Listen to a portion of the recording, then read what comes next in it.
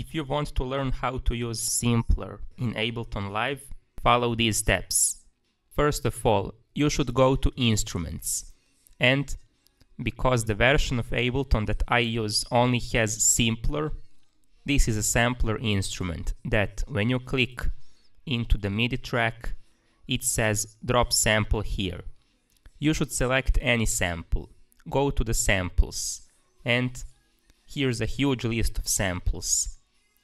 But I want to pick something more simple, like a kick sound or maybe a bass, just to try how it looks like. Let's start with, for example, this one. Oh, this is so strong. You can select any sample you want. If you don't want the bass, you can select guitar, pad, strings, voice, and anything else that can be a sample. So, I will pick something much more dynamic.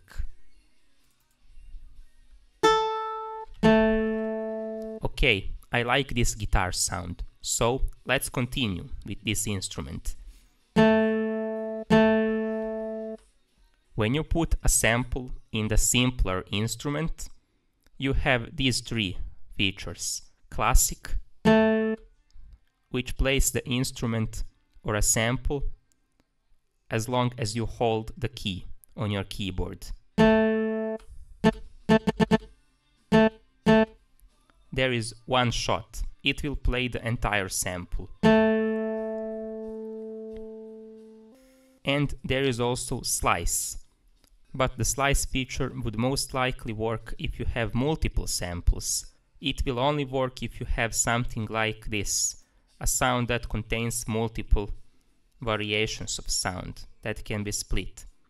It can split the sample automatically, but you can drag this to adjust the slice. And if you try to play right now, you can only play it if you put computer keyboard to C1. Use Z and X and until it says your current octave is C1, then you can play with the sliced sample. This will work much better if you have some kind of drum kit. It doesn't need to be a drum loop. It can be something like a guitar loop, for example. And it will slice the sample like this. You can play it by pressing the keys and it will be a different note.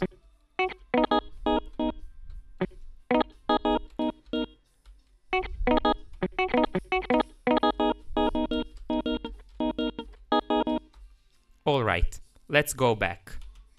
I want to select the sound that I loaded at the beginning. Let's move to some other features. This time I want to teach you how to use all the parameters of the simpler instrument.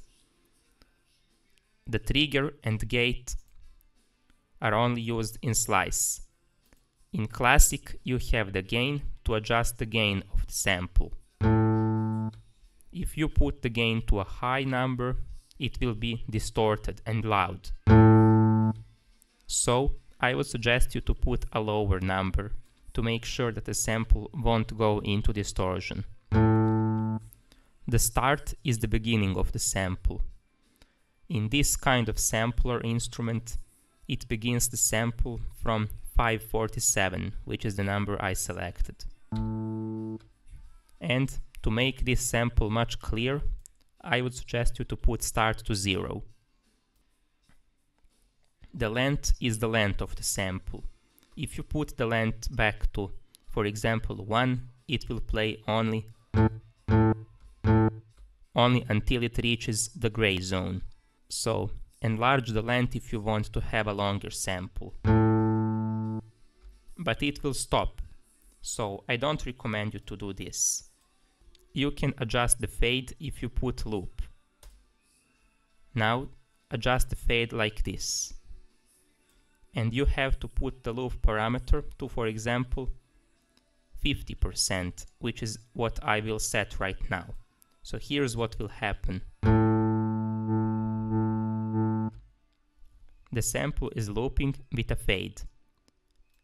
Move the fade to the right.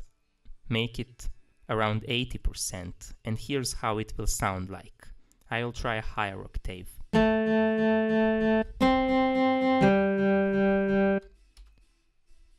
Playing this on a higher octave will make the sample play so fast. So make sure that you put the warp option.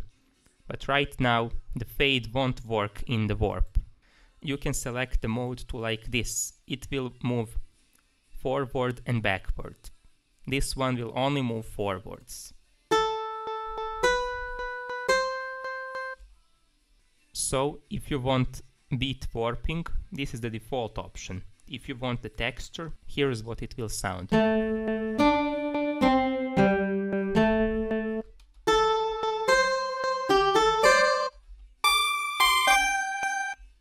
This is a cool feature if you want some grain size and flux to the sample.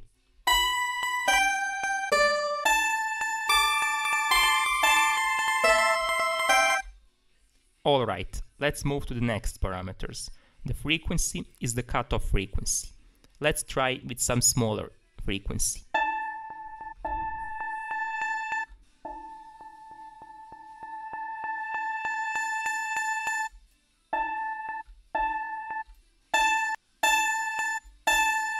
This is the resonance parameter. It will work better in the controls menu. The controls menu will modify these two parameters by dragging this circle. If you drag this circle and it looks like this, here's what it will sound like.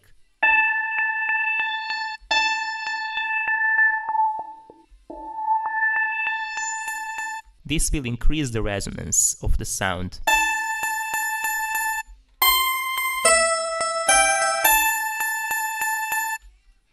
But it also adds some frequency that you won't like to hear.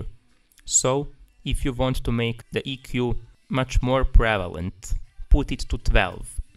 This will add some fade out in the frequency menu.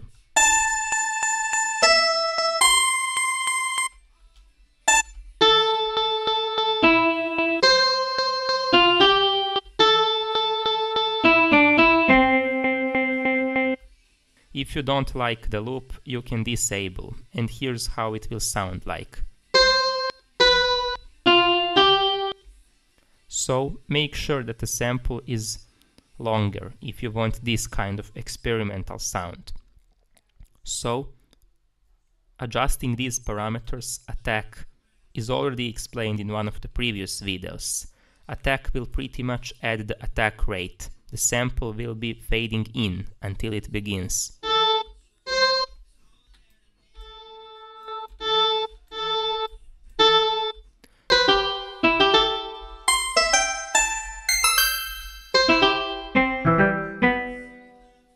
Okay, that's pretty much it for this tutorial. I will make more music production tutorials about certain features like instruments, drums, audio effects and many more. Stay tuned and happy producing. Goodbye.